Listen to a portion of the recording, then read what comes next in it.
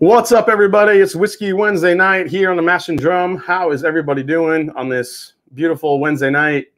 I don't even know how it is outside. It was hot as shit today and very, very humid. Um, I hate the damn hot weather, especially humidity. But uh, I'm here, nice, staying cool here in the whiskey room. Welcome in, guys. Uh, we have a really, really cool guest tonight. Uh, great distillery, making some incredible, unique whiskeys. Uh, so I wanted to uh, to we're going to talk to Whit uh, Hagemann from um, ASW Distilling American Spirit Works. Uh, we're going to bring him in real soon, but I want to take a little bit of time here. Say to say hi to everybody in the chat. Cameron Lochner was here nice and early. Tim, gorgeous. What's up, man?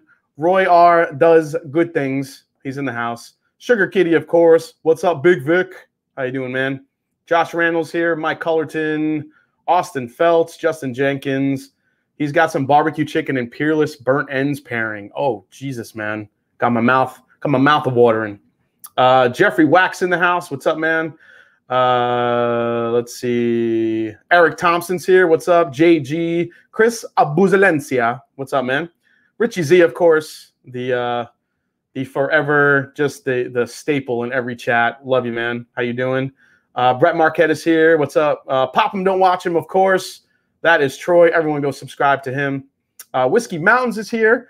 Nice to see you, Whiskey Mountains. That's Adriana. Uh, Adriana, we will remind me to bring up your uh, your great live stream you got coming on coming soon to raise money for Alzheimer's, and um, I will be a part of that. Uh, Josh Randall, uh, Nick Foles is here. Uh, Linux Cat, what's up, Donnie? Nice to see you, man. Uh, who else is here? Jimmy Bayman's here. John T. Timothy Juarez. Uh, Cheech Artolino, of course, the Cheech man is here. Karen B. Ford is here. How are you, Karen? Whiskey Nose says he needs a wrench. You don't get a wrench because I saw your your little Mets suck comment, so you don't get a wrench tonight. Maybe next time. and the Mets do not suck. They're beating the shit out of Baltimore right now.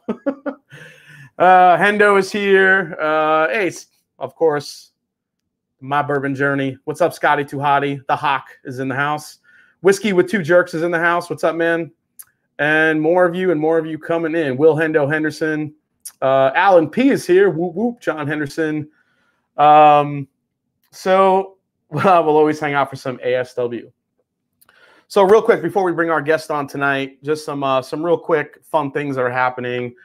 Uh, I wanted to open up uh, a little bit for the four gate barrel pick that we did with uh, uh, the Mash and Journey Whiskey Club. So Scott and I were really fortunate enough to get a eight year MGP toasted rye uh, that was uh, released uh, over the weekend, and we are pretty much almost sold out, which is bananas.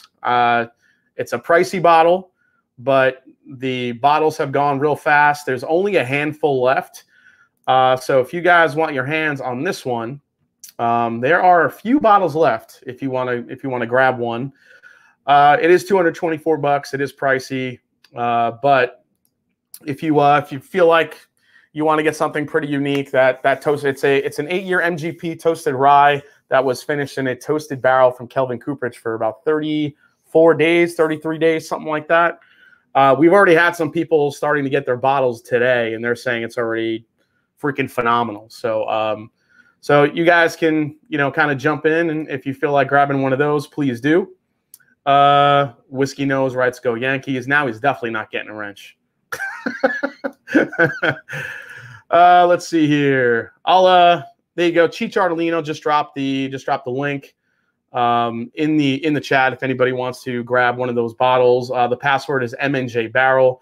I think we only have about eight or nine bottles left. So if you guys want to want to grab one of those, have at it. Cheech, feel free to drop that link throughout the uh, the broadcast and um, see if we can get rid of them by the end of the night. Uh, also, next week, next week, right here in the Mash and Drum, very very special night.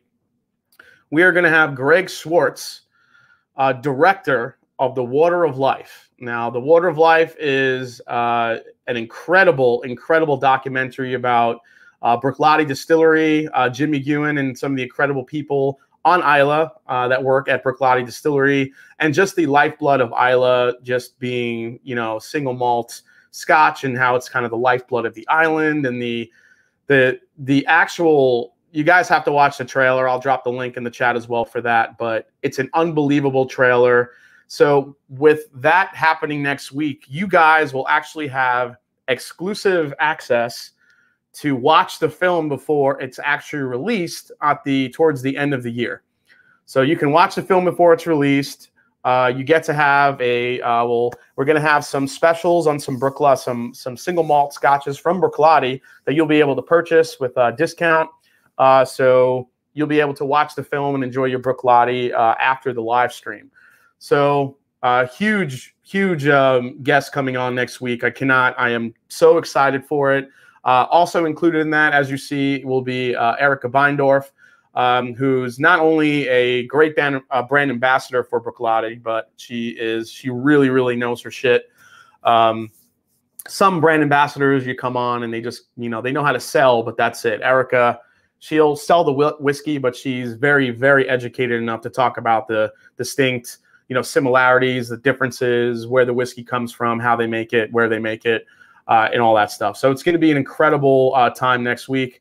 Uh, so really looking forward to that. So uh, we'll talk that up as the week goes on. We want to try to get as many people buying tickets as possible.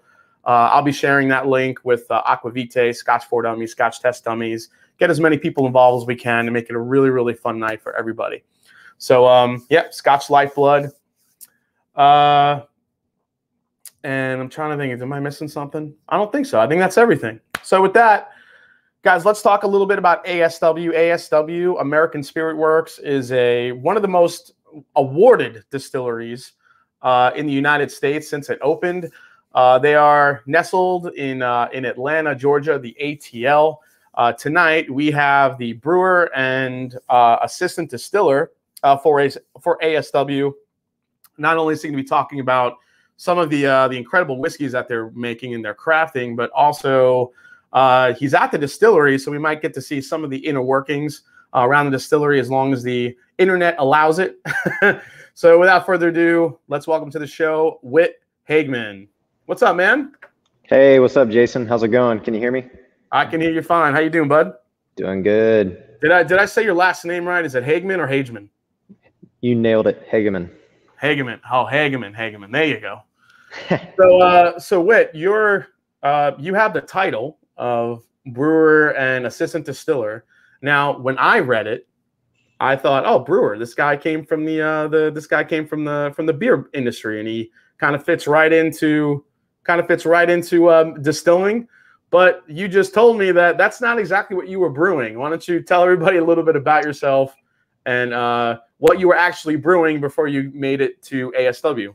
Yeah, uh, absolutely. So, uh, just just to clarify, the term brewer here at ASW refers to uh, making the whiskey mash. So, when we talk about brewing, we talk about brewing the mash itself, um, creating the uh, the the fermented wort or whatever you would like to call it, the wash. Uh, but that is the type of brew brewing that we are talking about here at ASW. Uh, before I worked at ASW, I actually worked in the coffee industry for eight years. So uh, I think really that's where I kind of got into um, just tasting different things and beverages in general. Uh, when I started at um, in the coffee industry, it was just a kind of part-time little thing right out of high school. And uh, before I knew it, me and the owner's son were partnering to make our own brand of coffee. Move on from there, start working at places uh, in Atlanta and uh, became like head barista here uh, and started doing some management things. Uh, from there, I was brought on uh, to East Pole Coffee, um, which is ranked right now the uh, best best coffee roastery in Atlanta, or actually in Georgia. Um, and it was one of the uh, top roasters in the in the United States. I worked there um, doing their education program doing their um, management for the tasting room or the uh, coffee shop, as some would say.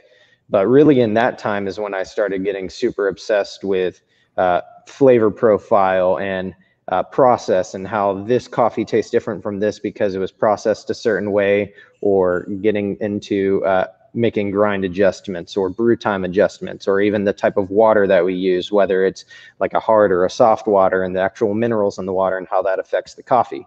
Uh, it can get really nerdy. Other things that you can get really nerdy about are uh, is whiskey obviously. So it was kind of a natural transition. Uh, asw is actually right down the street from east pole and i met the owners through uh, they were just customers at east pole they invited me to come uh, into ASW for a bottling party or to help out on the bottling line.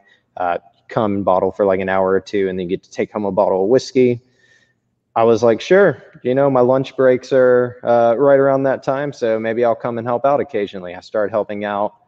Uh, met the uh, master distiller Justin Manglitz, and him and I really hit it off. Uh, he is a type of person that doesn't take in many new friends, but for some reason he decided to take me in as a new friend, and I'm super, super grateful for that. Um, but I think one thing about about Justin and about me is uh, whenever we talked, I didn't pretend like I knew a lot about whiskey. I came to him just hungry and wanting to know as much as I possibly could.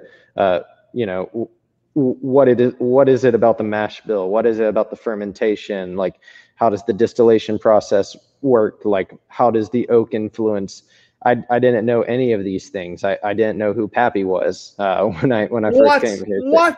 What? I'm kidding.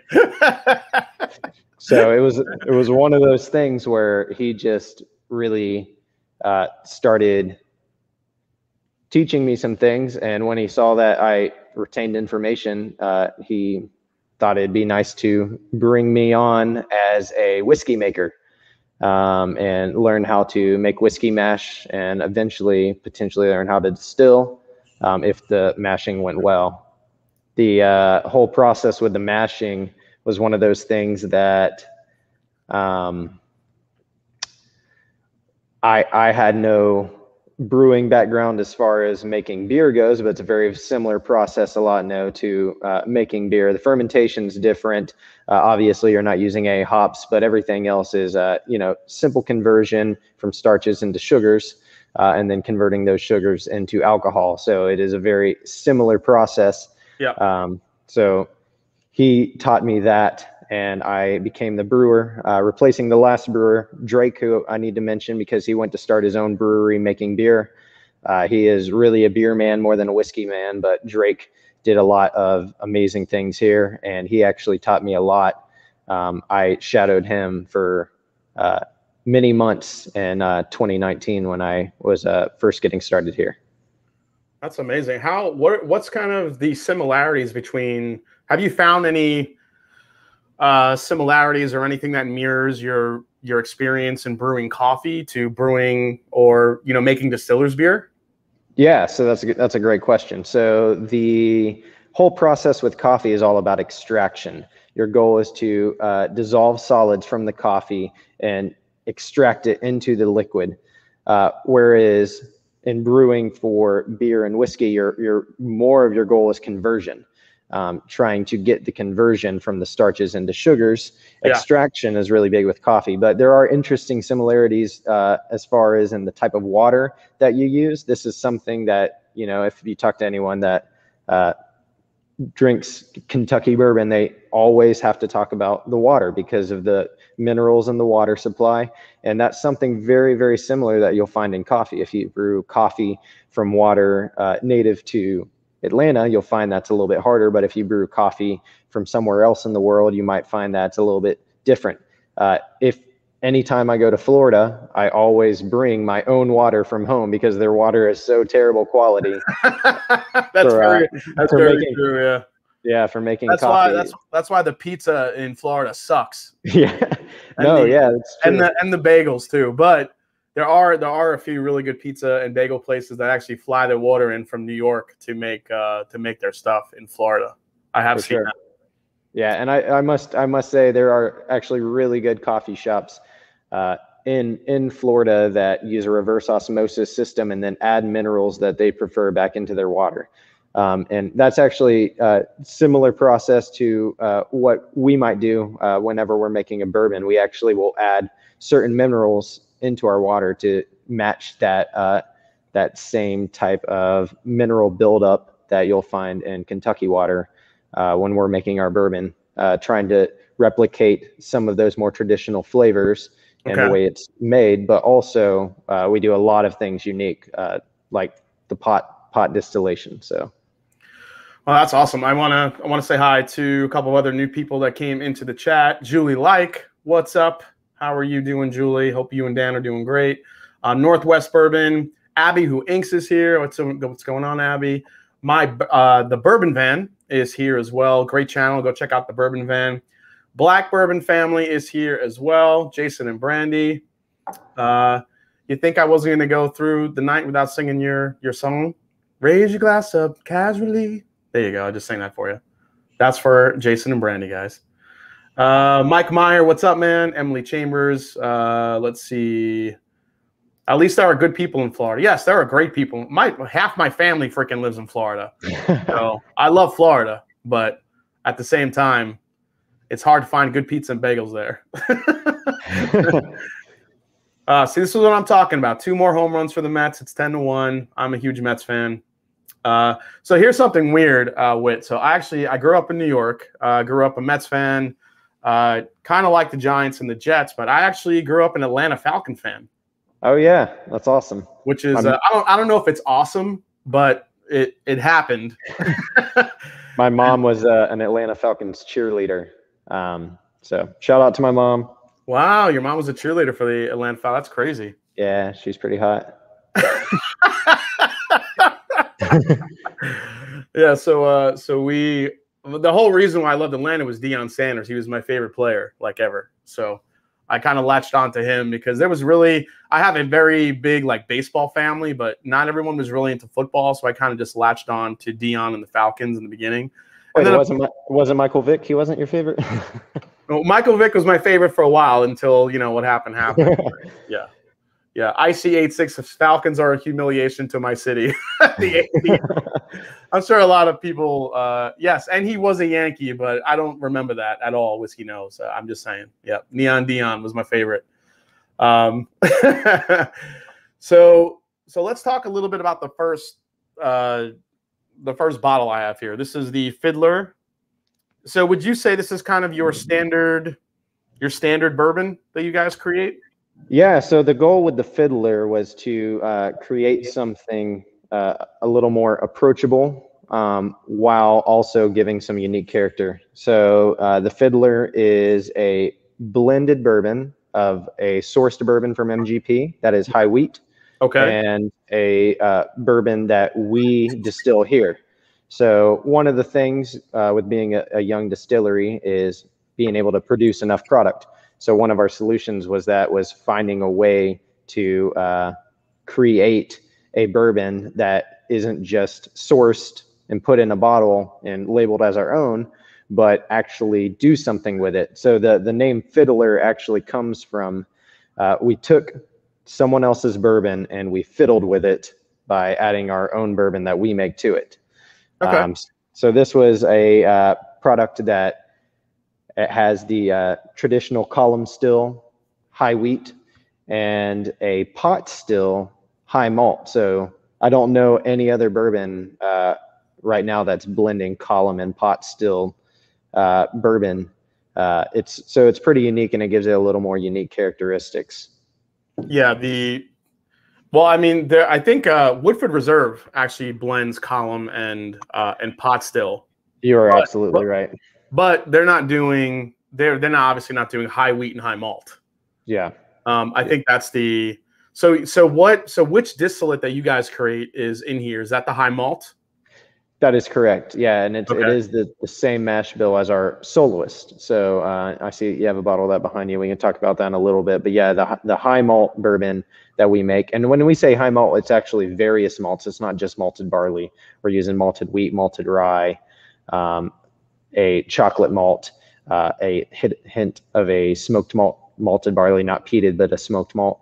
Uh, so we, we use various malts that are not uh, just limited limited to uh, malted barley. So with, with Justin, with his brewer's background, so Justin, uh, we'll, we'll dive all into his story. He has quite quite an interesting story, but he, he comes from a brewing background. So when he thinks about uh, making beer and when he's talking about ingredients, he refers to anything malted, not just barley as malt. So he'll say wheat malt, rye malt. So when we say high malt bourbon, uh, there is malted barley, but there's also malted wheat and malted rye. So yeah, really so, four grain. So I think one thing this thing has going for it, uh, a few things actually. The pot still, which gives it a lot of viscosity, which I don't think column still. I think you get more of an elegant spirit, but the pot still gives you more of the texture, and you might get a little bit more of like the rawness of the spirit. But I think combining those two uh, actually really gives it a nice texture and feel. The all the different malts that are in this. I told you when I first tasted this that I literally tasted coffee. Yeah. And I think I tasted that chocolate malt coming through. So maybe it's the combination of the the chocolate and the smoke. It's giving me like this coffee note to it. Yeah. Um, I don't I don't know if you picked that up being from a, a coffee background, if, if that was something that you noticed as well, but it's very it's very it's almost like a fresh coffee bean on the nose. Yeah, and, and coffee is a very common flavor that you're going to get uh, with a higher malt content, just because uh, malt usually gives off uh, a little more of a, a uh, while while rye or a wheat, the wheat might kind of uh, you know highlight the barrel, and a rye might uh, you know kind of in, bring in some spice. A malt kind of brings in its own unique characteristics and really focuses in on that flavor. So when we start talking about using various malts, we're really going to start highlighting different flavors that you're not going to taste with uh, a cereal grain. Um, so these are going to introduce new flavors. But yeah, some of those darker notes, coffee is definitely present in it. Um, uh, not specifically with uh, Fiddler, but with Soloist, uh, that is uh, the 100% um, pot stilled bourbon that we that we make 100% distilled here 100% pot stilled. So this is the high malt bourbon itself and that that one i certainly get a lot more of those notes. Uh, i think you you even mentioned uh, when when you were trying that that you got like heavy coffee notes. Yeah. i get some like a little bit of a, a malty like leathery thing uh, a little bit of a uh, dark fruit like a plum type of thing in that so, one as well so what are the ages on what's the ages of whiskeys in the uh, in the Fiddler Unison? Yeah, so the Fiddler Unison is a blend of uh, three to four year whiskey. So the uh, Soloist, the whiskey that we put in, is usually right around that three three and a half uh, year mark, and then the uh, Source whiskey is usually about four and a half uh, years, four to four and a half years. Okay, well, you're getting a lot of textures and flavors from a from a younger whiskey, and I think a combination of so something along the lines of kind of what Chattanooga is doing with their very vast amounts of high malt. Um, but I feel like your your uh, profile is very different than the Chattanooga profile, which I think is a good thing. Yeah. Um, let's see here. What uh, what wood do they use to smoke the malted barley? That's a good question. So with um, the uh, fiddler soloist, Justin, over the years, uh, this is kind of a testament to what he likes to do, but he's actually adjusted the mash bill ever so slightly. He'll uh, make something with a cherry smoked malt, and then he'll adjust it into a traditional Rauch malt. Uh, and then he's done a beechwood smoked malt. So he's tried different smoked malts. I think the current one and the batch that you have is uh, the the it might be the Rauch malt and it could be the uh, the beechwood or maybe it's sandalwood. Uh, but he's he's he's experimented with various smoke malts. Now, an interesting thing about it is the smoke malt is only going to make up. Uh, I think it's I have the mash. I I all we have we actually have so many different uh, mashes and mash bills that I have to sometimes look at our recipes. So yeah, the the uh, the soloist is 55% corn. Mm-hmm. It is 13.6% uh, wheat malt. It is 10.2% rye malt, 10.2% Munich malt, 6.8% smoked malt, and then 3.4% chocolate rye malt. So very interesting, very specific. Uh, but so, and, and, and, the fiddler soloist. Now this is just all pot still. You said. Correct. Yeah, the soloist. So that then the, the name soloist comes from it not being a blended uh, bourbon, but it is our bourbon that we make 100% at ASW. So this is made here where the uh, unison is partially sourced from MGP and then partially partially distilled by us. So And my goodness, yeah, this thing is all just, I mean, so much chocolate, coffee. I get it. I, I do get that smoke, but I am getting like a smoked. uh There's there is like a smoked cherry note to it. yeah, and you know what? The earlier batches were the ones that had uh, kind of the uh, experimental cherry wood, and I think that batch that I gave you was uh, batch three, and I'm pretty sure that was uh, some of the earlier casks um, in that batch. Yeah, the coffee the coffee is still in here, but this is more of like a um like a caramel macchiato. Yeah, I'm getting more caramel in here. I'm getting more like a there's like a like an almond characteristic here. This Caramel. is this yeah this one's really interesting. It's Car- um caramel macchiato is a bad bad word in the coffee industry. It's like saying filter. well, so explain to me why is it a bad word? Uh, macchiato traditionally is a small espresso beverage with just a touch of milk, and Starbucks wanted to sell more lattes, so they were like, "Let's take a latte and not stir it up and add caramel to it and call it caramel macchiato." So it's not it's not even really a macchiato. It's it's a latte with non-stirred caramel. So they basically like bastardized the name macchiato. Yeah, they're, they're, they're pretty much all their drinks. Cappuccino is supposed to be different. Uh, Yeah. flat white, cortados, all these are supposed to be different, different drinks and different amounts of milk to espresso ratio. And they decided that, hey, you know, not, not to crap on, on Starbucks. I mean, some people, some people love it. It's, their- it's their juice, you know, but uh, for me, like just selling a bunch of lattes and calling them different things that aren't latte or that, yeah, calling them things that aren't really lattes is it's, it's kind of weird. Come on, who doesn't love the strawberry funnel cake frappuccino?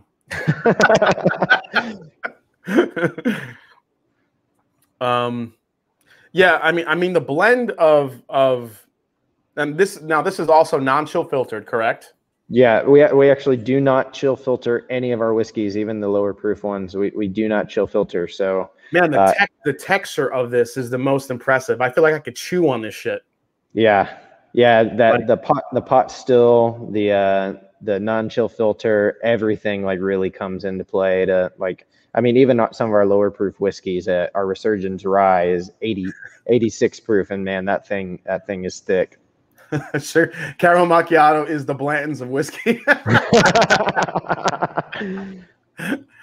oh, I love that.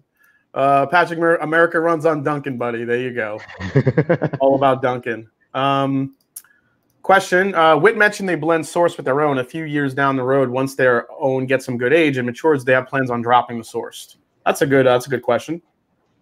Sorry, what was the que- I I kind of saw it first, but Whit mentioned they blend source with their own. Oh yeah, that is a good question. So Soloist is kind of the answer to that. So Soloist is a product that we put out at the same time as Unison. Now Unison will always mean uh, coming to coming coming together of the two different. So this will probably be a standalone product that we will you know potentially always have unless demand phases it out.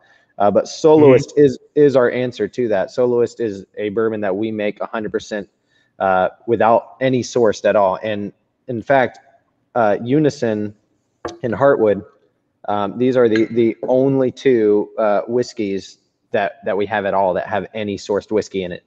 Everything else we distill in house. Which actually, I have the entire lineup uh, just in case you guys need it. So that those are the uh, all Holy the whis- the, all the whiskeys that we've uh, uh, essentially ever made. I think there's a couple missing from it, but I, I went through and dug through the distillery to f- try to find all the whiskey. But everything we we make, um, except for, uh, and and really that the, the the reasons why these two um, are not made in house is because there's really a, just still a big demand for that traditional column still flavor profile where the soloist is amazing, but it's really unique and I think a lot of people would agree with this that you know it doesn't uh, hit the same way that a column still bourbon It does uh, not. might hit. it, I would I would say for anybody that's watching, if you if you really, I mean, if you're a coffee lover, honestly, and I know we keep harping on these coffee notes, but like coffee, chocolate, texture, almost a, a bourbon that you can chew on and really feel the texture of it, uh, the viscosity of it. This and this, uh, I don't know if I mentioned this is a hundred proof. And what what is this retail for, Whit?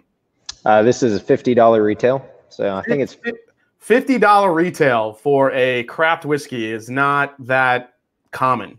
Just saying. Yeah. I think it's actually 47 to be exact, but $50 yeah. is right around $50. Yeah. Um, so what is the size of your pot still? And do you, uh, so Rye Guy, they do not chill filter anything. So we, we, uh, we answered that. Uh, hey, Donald Rance is here, the whiskey, the Irish whiskey Yoder. Hello, how are you, Donald? um, so real quick, here's a, here's a good question. Uh, where's the availability of the brand right now? Yeah, so right now we are uh, really just in the southeast as far as going into a liquor store and picking up a bottle. Um, there's not many stores in Tennessee. Uh, I don't know how we're doing in Alabama right now. I think a few has snuck in there. Florida, uh, there are definitely a few stores. Uh, we're in a little bit of the Carolinas. Georgia is really our main platform. Uh, we do have some available on Seelbach's and on yes. Wooden and on wooden corks. So if you're looking yeah. at buying some from a national level, uh, Seelbach's, Blake is amazing. He comes in here uh, and mm-hmm. does uh, picks. Uh, we've had a lot of fun hanging out with Blake and doing some picks with him. Uh, his picks are phenomenal. I can't sing him up and praise him up enough. Yeah, he, so uh, he, he picks so, good whiskey. Yeah, so myself and Scott from my bourbon journey, we have the Master Journey Whiskey Club that we started. We started doing a lot of picks. I think, I think at some point an ASW pick is in order because this stuff is really good. I yeah, we, we can make that happen. Yeah, we love a good pot still, and this is just. I mean, there's so much viscosity to it. Um, I was going to mention, guys. Yeah, uh, ASW products are available on Seelbach's. Um, the Fiddler Soloist. I'm sorry, the Fiddler Unison. If you kind of want to get a good glimpse of what that that pot still that they utilize does, um, I think it's it's a really good starter. Uh, but this Fiddler Soloist, if you could find this anywhere, I mean, this is just all, it's so texture heavy. I'm really impressed with this one. I'm really liking this. Yeah, the soloist is uh it, it, we've we've only ever bottled it uh four times. So we've done four batches of and they were all pretty small batches, small runs. Uh, it is trickier to find. I know there are some stores that carry it. Um, so and they they sell out pretty quick. We don't plan on, you know, raising the the retail price though because of that. We we want to keep expanding it and bringing it to a, a more, uh, you know, at an approachable price on a bigger scale. I mean, a lot of it too is we're, we're a really small young distillery. Yeah. Um, we can get more into the timeline uh, in a little bit, but being a young distillery, as much product as we have, like if we pushed out on a national level right now, there's no way that we'd be able to. Oh yeah, you wouldn't be able to. Yeah, and that make that makes sense. I mean, we've already seen uh, Scott and I did some picks with Woodinville, and they're already. I mean, Woodinville has, you know, they were talked about being crap for a while, but now they're at the point where they're churning out a lot of barrels, and even them, they're kind of slowing down their barrel pick program because they're just they if they keep throwing out these single barrels, they're not going to have enough inventory to make their regular whiskey. So when you yeah. talk about when you talk about a young distillery like yourself, even giving up any single barrels is probably a big deal. So I I totally understand that part of it. Um, before we get into the Georgia Heartwood, which I really want to you know deep dive into that. Um, tell us about a little bit about the start of ASW. Now on your website, you I read that the founders of ASW uh, they were kind of they were influenced by uh, um, Ireland, France, and England, and that type of distillation and all those components that went together to craft what you guys are crafting now. So can you just, if you could just touch on a little bit of those influences and and and how you feel it affects what you guys are crafting today? Yeah, absolutely. So uh, yeah, so what what you're referring to really is a lot of uh, Justin, who is our master distiller. Yeah. Um, who, who was uh, not one of the original founders, but he was brought on very early as a partner and helped a lot in the building of the distillery. Um, so the uh, founders uh, Jim, the CEO, and Charlie, the chairman, they uh, met in met in college. They were college roommates, um, and they really bonded over their love for specifically rye whiskey. Uh, they thought it was interesting that both of them really enjoyed rye as their whiskey of choice. And we don't we don't talk about their age, so we don't talk about what what year that was. But uh, it, it was in a time when rye whiskey was not the most popular type of whiskey.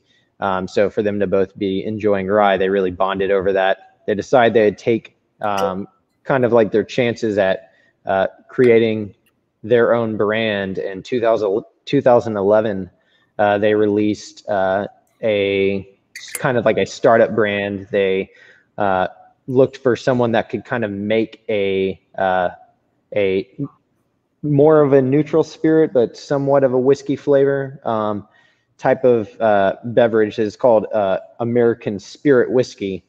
Um, so a, a, lot of people confuse ASW because of, of because of that. American Spirit Whiskey was our first product, but American Spirit Works is uh, the the name of our business. But I have a bottle of this. Uh, we have phased this out, but this was kind of the uh, the starting uh, brand for us, uh, American Spirit Whiskey, and it is 95% uh, neutral grain spirit, and then 5% uh, extremely young whiskey. So uh, we're, we're, we're, we're, talking like a, a barrel that was probably had a hole in the bottom just poured through type of thing. But anyway, the I mean the, that look, that just looks like white dog, dude.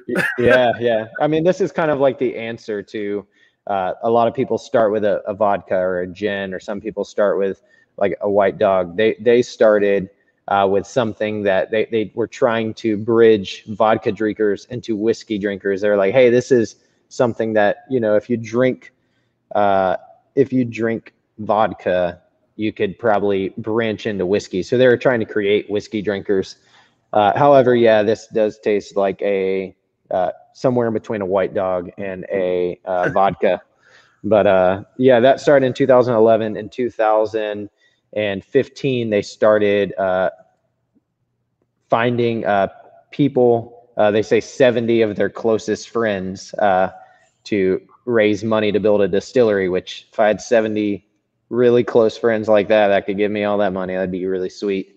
Uh, but yeah they knew a lot of people have a lot of great friends and they started the distillery uh, raised funds for it and actually overshot their mark for what they were aiming for and ended up giving some money back from their family if like their aunts gave them some money like oh here here nana you can have your your your money back. We appreciate it but we got everything we need. Uh, kind of on the lines of of that. That's not actually uh, what happened. But anyway the uh, the distillery uh, was being uh, built and birthed, but they wanted to find someone that knew how to distill. So, you know, they could look um, to maybe like a third shift at a Brown-Forman or someone like that, but instead they found this guy named Justin, who uh, most people bring a resume in on paper. He brought it in in liquid form. He brought in a bottle of whiskey and said, "Here, I made this." You know that that, that was uh, his resume, and it blew them away. It was a single malt whiskey, mm-hmm. and uh, Justin having uh, 15 years of experience prior, allegedly, I must say, uh, he he was uh, already uh, had done so many experiment ex- experiments and tried so many things, and really uh, figured out his style of distilling and making whiskey. Um, and he was ready to take it to uh, more of a grand scale and, and make it in a uh, way to get the products out there. So Justin, uh, he was brought on, uh, and Chad was brought on as the fourth partner. So Ju- Justin, uh, who is our master distiller, and then Chad, who is our marketing guy. So all of our branding, the the fiddler, the Resurgens, all the branding, Chad did. He did an amazing job with all that, I must say. Yeah, that's um, awesome. Um, yeah, it, that, that's the smartest job application ever. um, now that's a resume. Absolutely. Are you guys, we had a question. Are you guys available in Mississippi at all or no? So I don't think that we've got out. I'm not a sales sales guy. So I actually, I am not positive every single store that we are in, but I do think we are uh, slowly working our way out there. I'm not sure. Uh, there, there are some states like we had trouble getting into Alabama because of their uh, the the way their law works. Yeah. Um, is a, little bit different. So uh, we need to look into Mississippi and see how we are there. But if Mississippi can get from Seelbach's, then yes. Um, all right. So tell me, tell me a little bit about the uh, this Georgia Heartwood. So this is another version of the Fiddler. Yeah. Um, so this is a this happens to be a single barrel cask strength. Is that are all the Georgia Heartwood single barrels? That is correct. So so Georgia Heartwood um, is is our only product that we do that is 100% source product. Um, so we uh, source a high wheat MGP, um, but the same way with the uh, Fiddler Unison, we didn't want to just put something in a bottle that we sourced and uh, put our name on it. We fiddled with it in the way that Justin, our head distiller, actually uh, chopped down a white oak tree from his land uh, in Jackson County, Georgia, and he harvested the inner heartwood uh, from the white oak, uh, dried it, hand charred it, and added staves of it to a barrel. Uh, these staves, anyone that's been on our tours has seen the staves. These are really big staves and they take up a lot of room in the barrel. So there's anywhere between 25 and 30 staves, and that really adds um, a lot of extra oak character. Um, this coming out at a, about a four and a half year old uh, column still bourbon. Uh, having all that extra oak like really helps uh, sweeten it up. A lot of people say they get a lot of graham cracker. Um, I've definitely got some really big vanilla and caramel notes out of it. Um, yeah, this this tastes more like a traditional bourbon with some of the. I could definitely see the graham cracker note. I'm getting a ton of cinnamon on this. Yeah. Um, I think it's kind of cool that you put a little spin on it using the Georgia Heartwood like staves, kind of like a Maker's Mark deal where you added some staves to it to impart some flavor to kind of make it, like you said, like a Georgia Heartwood. Um, real quick, yeah. guys, before we we sip that, uh, I want to say the, so Whiskey Mountains, Adriana in the chat is doing an Alzheimer's fundraiser on June 20th at 9 p.m. Uh, so that is, you know, just about 11 days that's happening. So I know uh, I'm planning on joining for a little bit on that stream just to help raise some money. Uh, and I, I do think I have a bottle or two that I'll be uh, throwing in the mix for to, to raise some money. So um, everybody definitely set your calendar. Uh, mark that video as a reminder. Uh, go to that link and make sure that you guys are, a big part of that. And uh, let's raise some money for Alzheimer's. I mean, the whiskey community comes together in amazing ways for good causes. So that is a, a great cause. So please, uh, please do and be a part of that. Um, also, real quick, uh, if you guys haven't heard yet, our Mash and Journey Four Gate Private Select. Uh, this is our eight-year-old MGP toasted rye uh, that is pretty much sold out. I think we only have like eight, seven bottles, something like that left. So if you guys want to get one, uh, Cheech has the uh, the link. He could drop that in the chat if you guys want to go there and grab one of the last few bottles that are left. Um, yeah, it's almost all gone. Uh, I grabbed another one today because I didn't want to. I wanted to have some more backups. So uh, if you guys uh, are interested, definitely go and grab one. Uh, it's an absolutely fantastic rye. If you if you like the Michter's toasted rye, then that one will blow your mind. So, um, uh, let's see here. Let's see what people are saying in the chat. Um, yeah, my mom passed of Alzheimer's, so please support this. Absolutely. Uh, let's see here. Uh, yeah, my bourbon journey. Okay, yeah, thanks for doing that, guys. So, all right, Georgia Heartwood. Um, so this is so when we talk about high wheat, are we looking at their 95.5 wheater that they have, or are we talking a different mash bill? Yeah, so so this one is uh, it is 45% wheat in the wheat in the mash bill. So we're we're talking uh, 51% corn, 45% wheat, 3% malted barley. Oh wow. Um, so yeah, high wheat, um, and I, I might in, mention so the the the Georgia Heartwood is actually um, I believe it's the first, if not only, whiskey uh, legally aged on Georgia oak. So that's the big part of the name, Georgia Heartwood, but being aged on Georgia oak. And just with some of the oak experiments itself, like uh, tasting the staves in there compared to like other types of oak, has really uh, given a unique flavor profile that um, it's you know, got a, it's got a really unique fruity characteristic on the very back end of it. Um, it, up front, it's all yeah, it's like all caramel. It's all vanilla. It's really rich. You get the you get those wheated bourbon notes. There's like a there's like a fruit like a fruity pebble cereal aspect to it. yeah, but it. I mean, I mean, you talk about like a wheater and how people love smooth like wheaters and uh, and not much of a burn. I mean, this has all that. This this really finishes easy, but it's also still got a little bit of texture there. It's got a little bit of heft. It's not too thin. Um, way, way, way different than coming off your fiddler soloist and your other stuff. It is. Yeah. This, yeah. This is more along the lines of a traditional like bourbon mash that you would expect.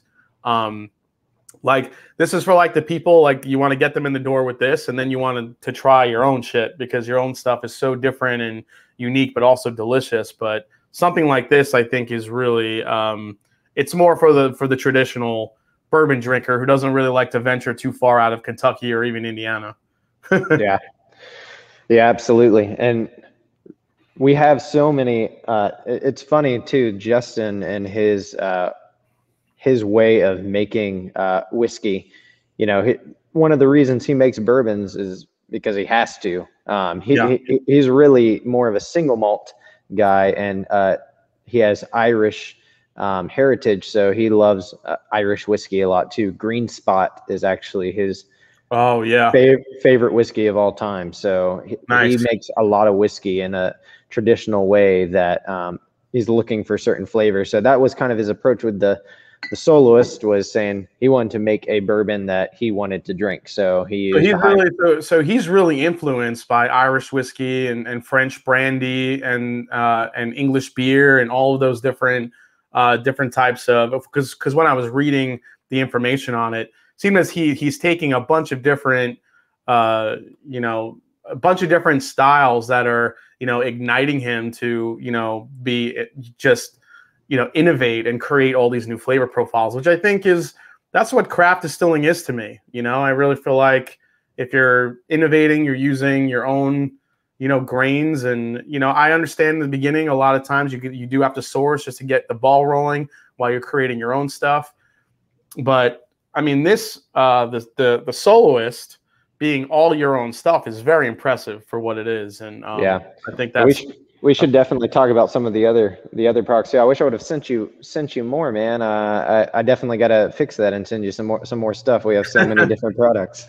uh, so Eric Thompson, thank you so much for the super chat. He says this is my kind of distillery. Fiddling with bourbon sounds great. I'm not a purist, so take a bourbon and fiddle with it. I respect ingenuity. Absolutely.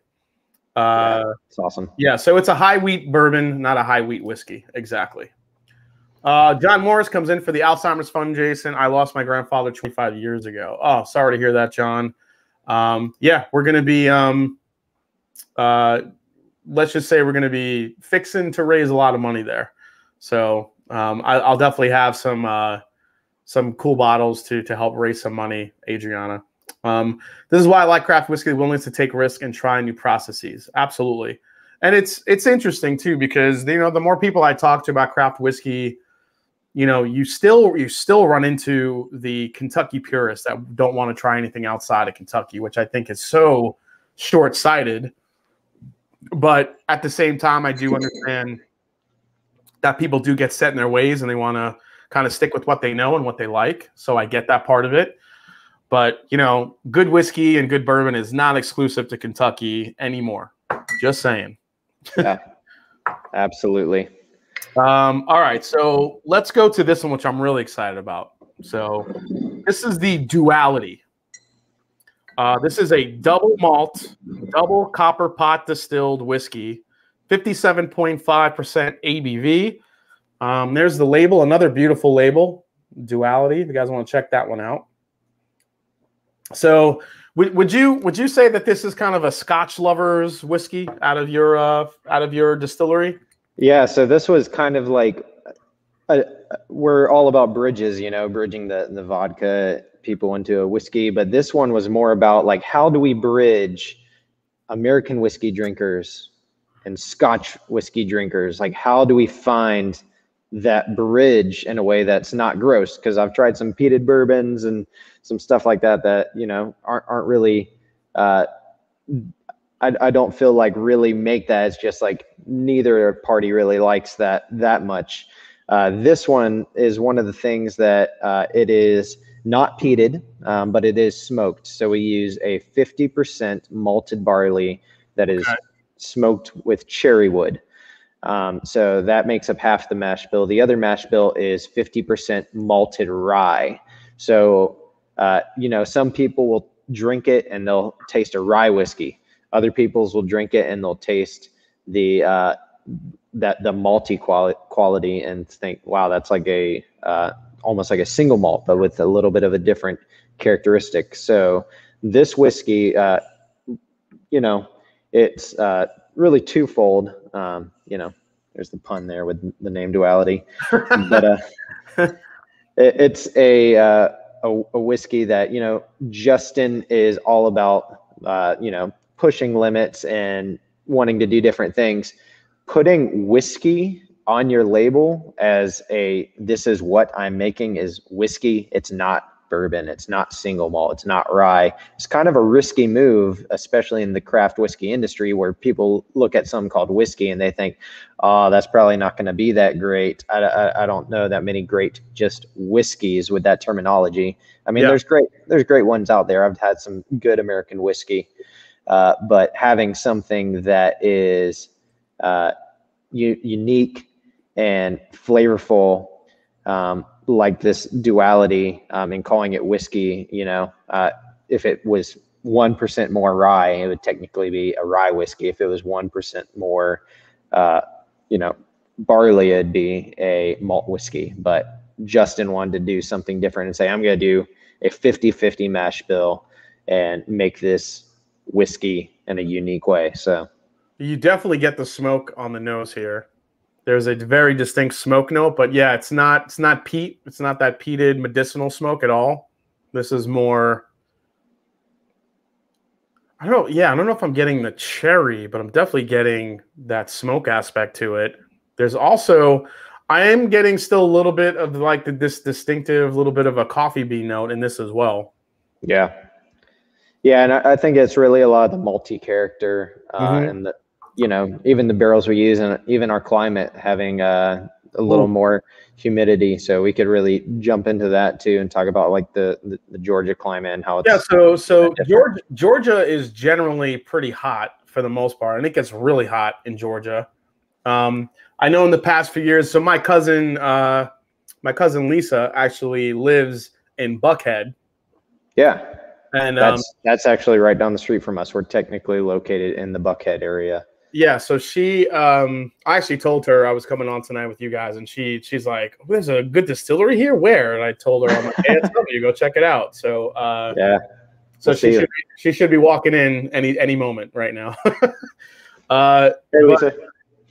Yeah, what's the so she I mean she has mentioned to me like in the past, like in the recent past that we've had some some like weird climate going on in uh in in Georgia as well. Well, while it's predominantly hot, you do get some like weird days where I know it, it like snowed there last year and you've gotten some really weird climate.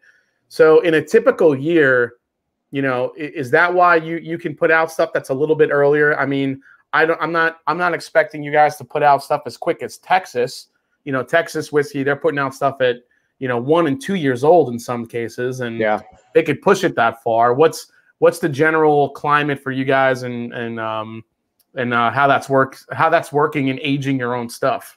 Yeah, that's a great question. So, uh, so we actually our aging facility is in a separate building uh, than our distillery. So we have a uh, a second tasting room on the south side of Atlanta, and we have our aging facility there. So the rick house is actually in the back and it is uh, not climate controlled. So we're able to get, um, you know, that unique Georgia uh, characteristic. However, it's not completely open uh, to that to the elements, uh, it being a part of a building that is connected to a tasting room.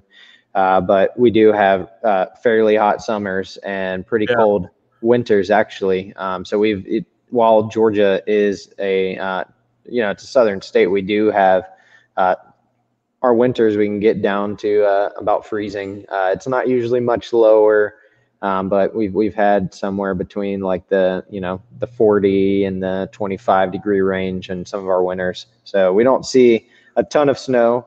Um, we get a lot of ice uh, that just kind of falls on the ground and then disappears. Yeah, I mean, this literally smells like you left a piece of rye toast in the toaster a little too long. Yeah, yeah, that's a good way of putting it. Yeah, I, I, I want to mention too. So our traditional uh, duality. So this is our proofed version, and then the version that you have is our cask strength version of duality. Okay. All right. Our cask strength is uh, is a single barrel uh, program that we have. So duality is a uh, whiskey that we have uh, opened for single barrel picks, and uh, Seelbach's, I believe, has done a pick. Um, we've had a lot of local stores doing a pick, but this is one one pick that we're looking at. You know, kind of get, getting out there and trying some things. The original um, is 88 proof, and uh, it was the first Georgia whiskey to ever win a double gold medal.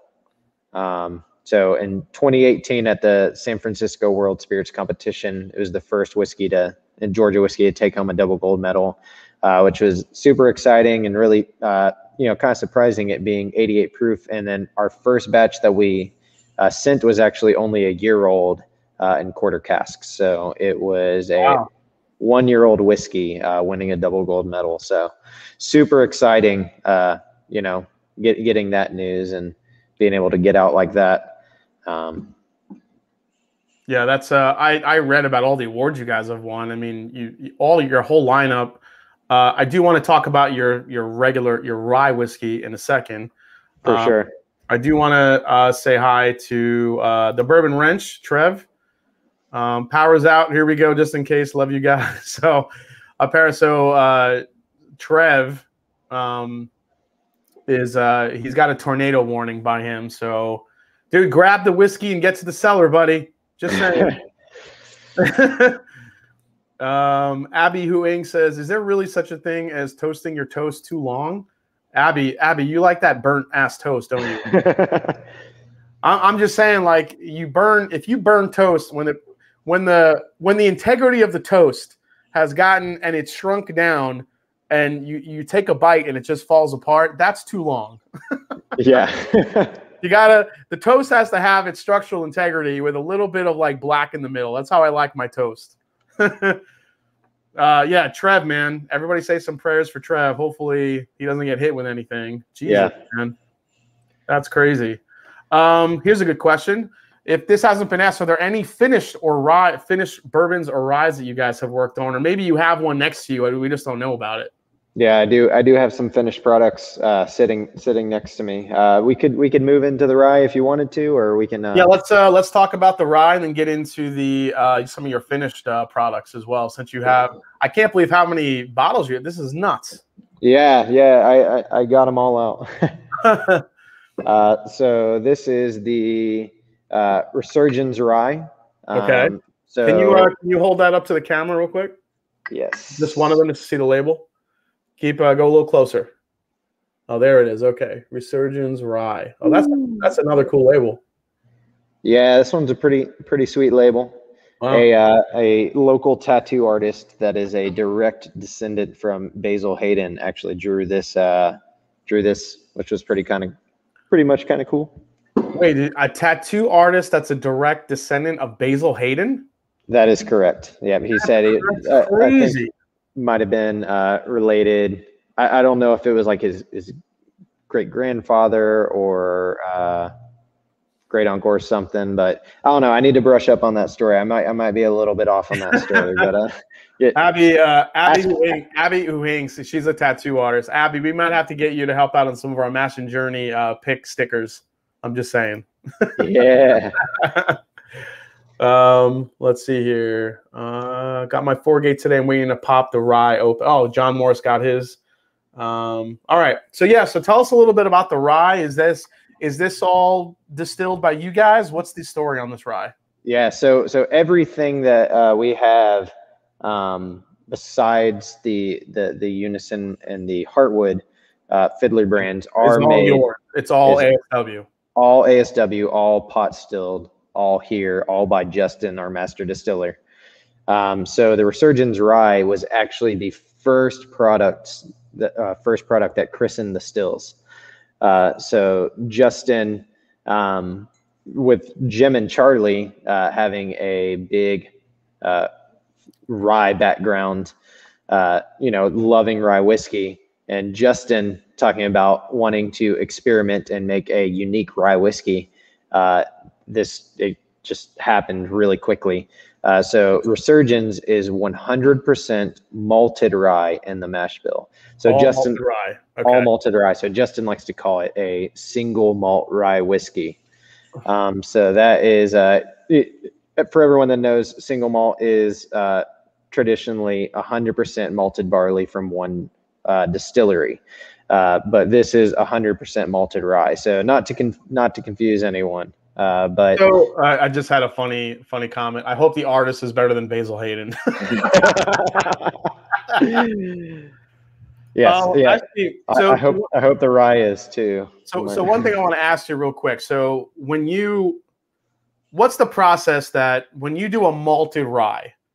So, I mean, there's rye whiskeys where you get a traditional rye. You, you know, you, uh, you know, you, uh, you mill that down. You have your Yep. grain. You have your rye grain, and you, you know, you distill it. All that stuff. What, what, what's the process for malting a rye that makes it different than a regular rye? I just want to. I just Yeah. want to kind of go through that process for the viewers because I really think because people talk about malted rye, malted wheat, uh, other malted grains. When you malt a rye, what does that exactly mean? Yeah, that's a great question. So malting in general uh, refers to germination, uh, Okay. just taking the grain. So traditionally malted barley, uh, what makes it what it is is uh, taking it, uh, putting it on a malting floor, adding moisture, and allowing it to germinate to sprout a seed. Um, So once the seed sprouts, uh, then they kiln it and stop that germination. And what this does is creates natural enzymes in the uh, malted barley itself. So similar uh, enzymatic activity actually happens in other grains when you malt them. So malted right, so, rye. so, so that, so that's what was my question because I know malted barley. You generally in bourbon you use the. You're not really getting much flavor from the barley. You're really using it for the enzymes and and uh, for the uh, for the you know the the the structure of it, the actual like chemical structure of it to help convert starches to sugars and to do all that. Now with I, I just like when I always hear malted rye, I'm like, man, can you malt rye in the same way? Is, is it does it do the same thing? Um, so uh, yeah, I just want you to kind of break that down. So when you malt a rye, exactly how does that work? Uh, I'm gonna get my laptop charger so I don't lose you. Okay. But uh, yeah, so malting a rye. Uh, so we, we actually we don't do any malting here at the uh, at the distillery. We get it malted um, and sent to us. But um, when when doing uh, rye malt, I'm pretty sure it's a very similar process uh, as you would like do like malted barley and that sort of thing. Okay. Um, man, I really am bad at multitasking. I can't talk and walk and. You're doing that. great. You're doing great, man. Hey, why don't you uh, why don't you show us those big beautiful copper uh, stills while you're walking around? Yeah, yeah. Um, internet connection holds up good. I will go ahead and show you guys the uh, the back room before I get get you all plugged in. So, Yep. uh, right here we have our fermenters. So they're 500 gallon fermenters. There's eight of them. Um, oh, actually, we have some uh, single malt currently fermenting. Oh, okay. Yeah. so uh, we, we got a nice firm cap on it. So we do an open top fermentation, uh, fast fermentation that uh, helps us get get some good flavor. We have the mash tun right here behind me. This is what I do a lot of my work on. Um, that's so that's where you're doing. That's where you're doing your beautiful brews, huh? yeah, so it's a it's a thousand gallon mash tun, and uh, it does the job. Get the conversion that we need. Um, sorry, I'm just trying to make sure I have enough battery I have nine percent, so I'm good All to right. sh- show you the stills. So here's our a little more time. There they are. Look at those beautiful pot stills. Jesus. yeah. So we have uh, two stills. So you'll see the still um, over there on your left is the wash still. So it is a uh, 300 gallon wash still, or sorry, 500 gallon wash still, um, and then we have a 300 gallon spirit still over here on your right. So uh, they are traditional pot stills. They're made by Vendome in uh, Louisville. They do a fantastic job. But uh, our did- actual Justin did Justin name his pot stills? Usually you name them. Did he name them?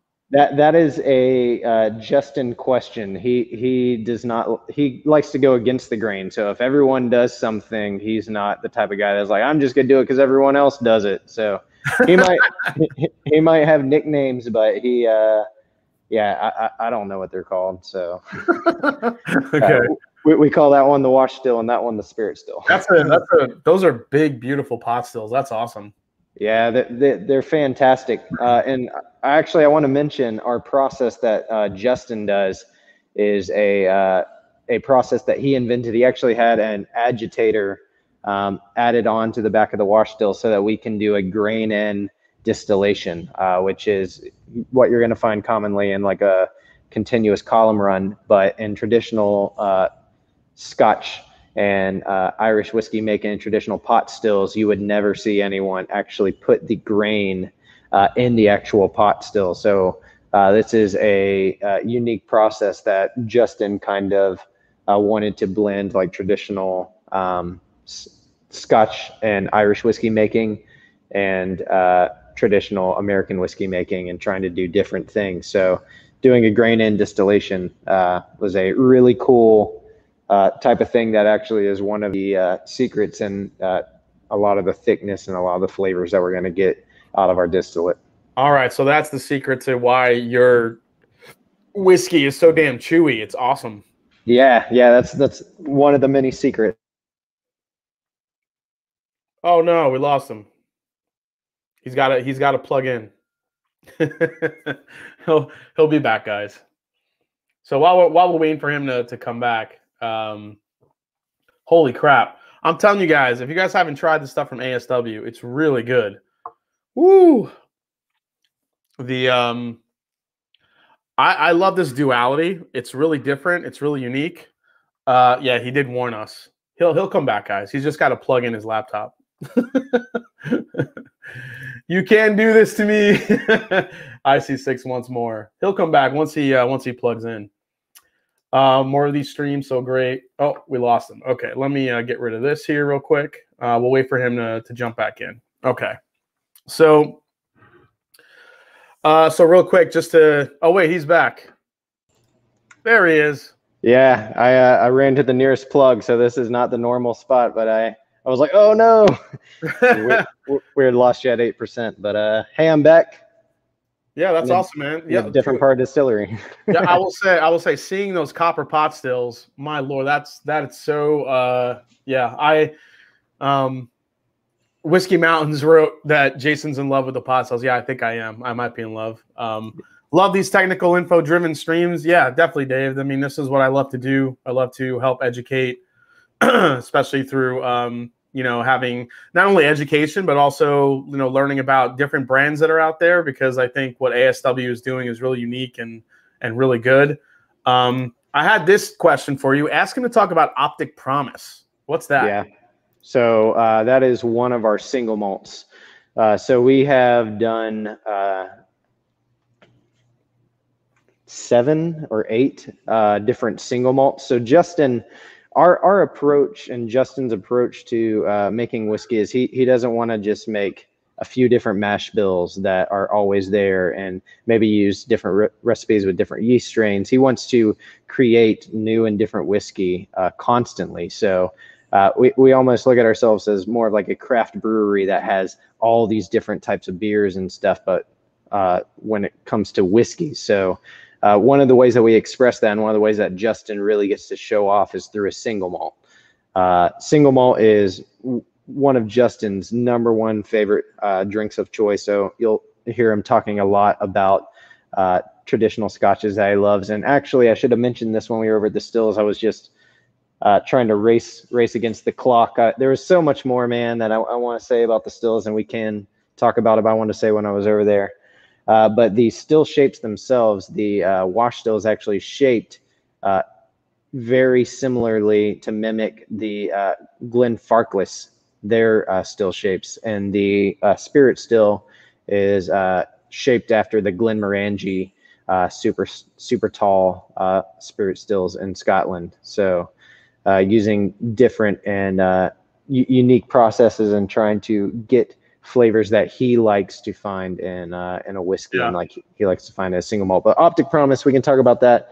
Um, so Optic Promise is a uh, single malt rye, or sorry, single malt whiskey that uses two different uh, malted barley. So it uses the traditional Optic, which was a very very popular uh, barley varietal in Scotland and is now referred to as Spring and Golden Promise. So Golden Promise is uh, a very popular uh, malt to use in Scotland as well. So he took yep. these two extremely popular uh, malt varieties, uh, malted barley varieties, and decided to make a, a whiskey that uh, used both of them. So Optic Promise was this year's, past year's uh, release for our what we call Ameireaganach series, which is supposed to be American and Gaelic, um, which I don't know if that's actually American and Gaelic. Some people have told us we're wrong, but that's that's what we say.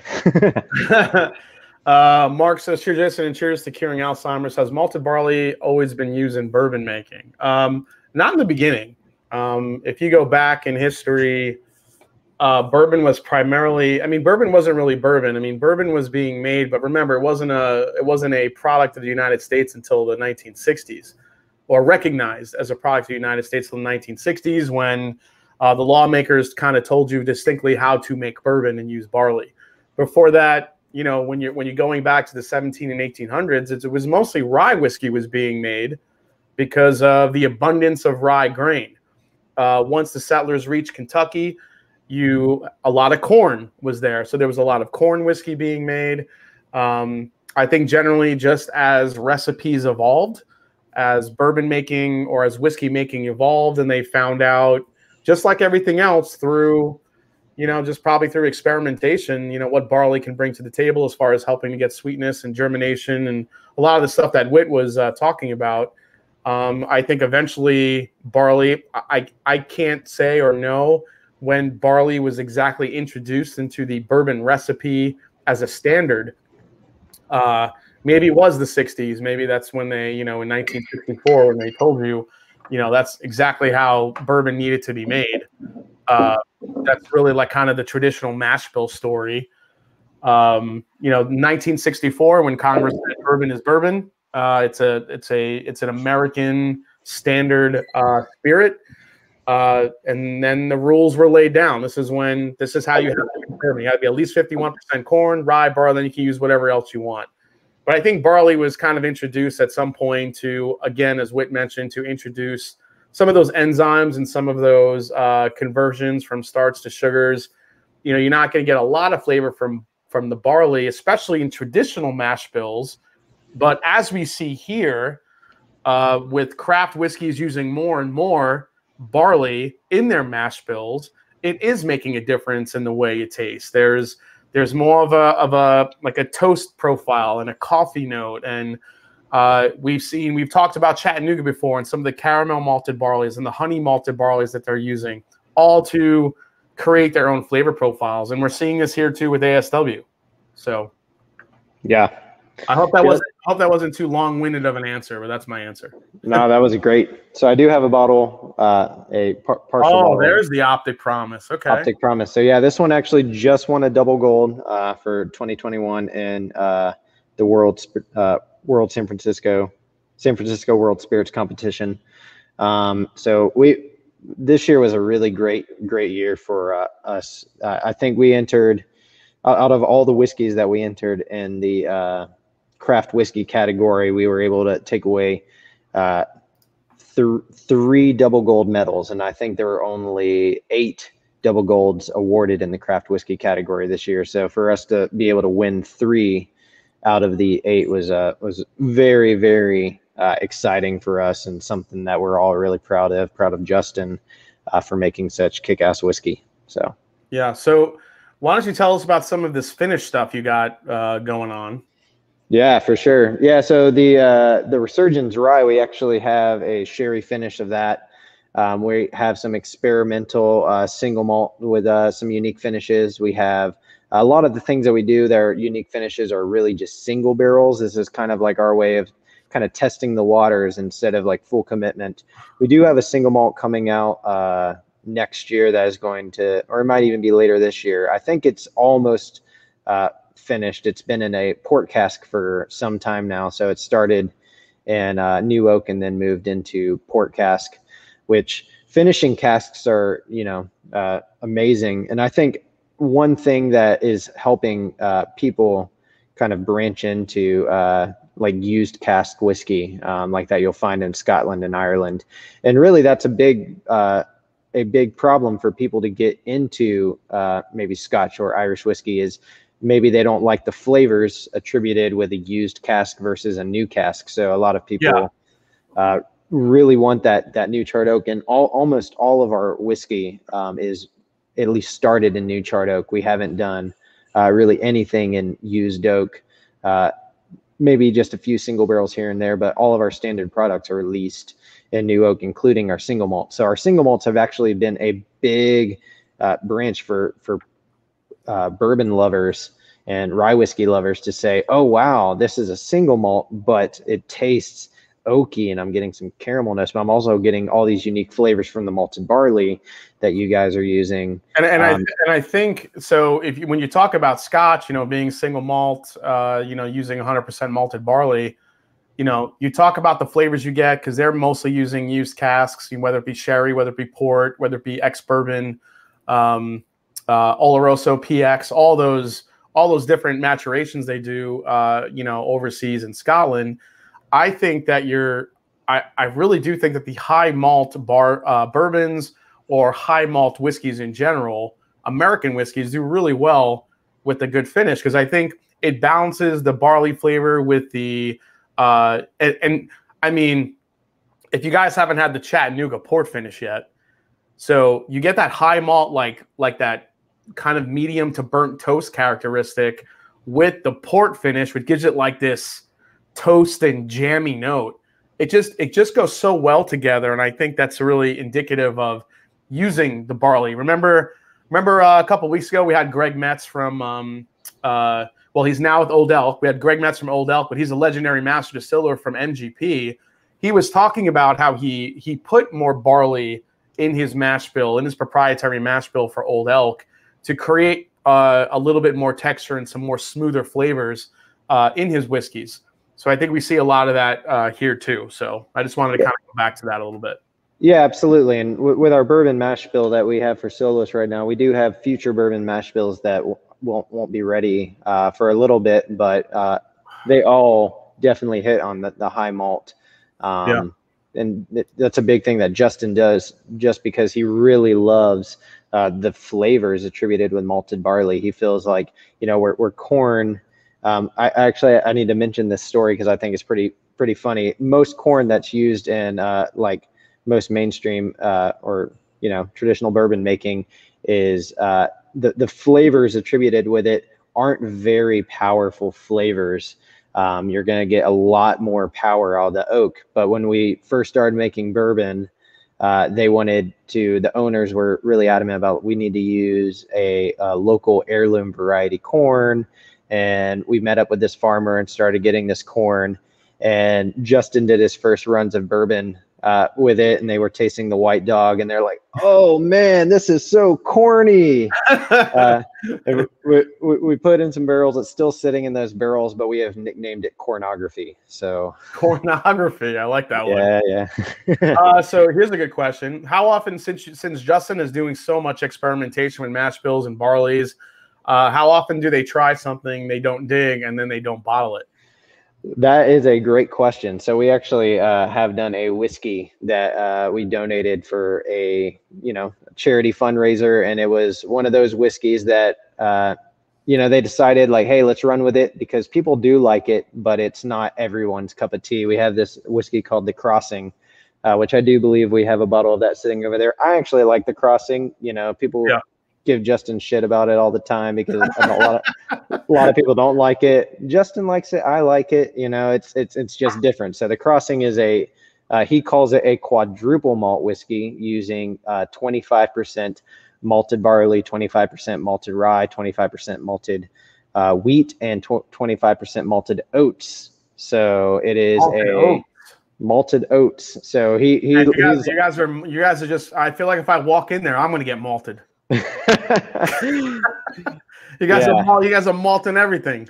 yeah, we have a uh, yeah we have some uh, some experimental stuff coming out in the future with uh, some malted corn too. So be malted on the lookout. Corn? Oh my yeah, god.